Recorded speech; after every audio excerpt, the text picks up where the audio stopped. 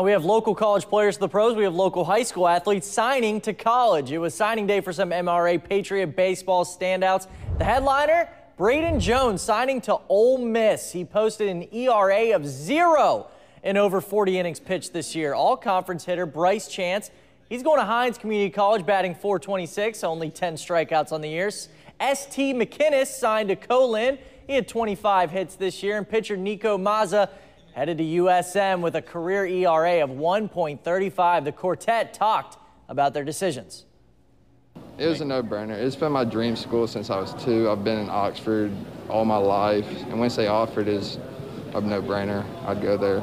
JUCO is very competitive baseball, and I really look forward to uh, just going in there and really developing my game and uh, hopefully moving on to the next level after that. Southern Miss just really appealed to me. Their coaches, we formed a great relationship from the start and it, it just really felt like home. Glad that I've played at a school that has given us the opportunity to get the exposure to play at the next level, and I'm happy to be signed with a great group of guys.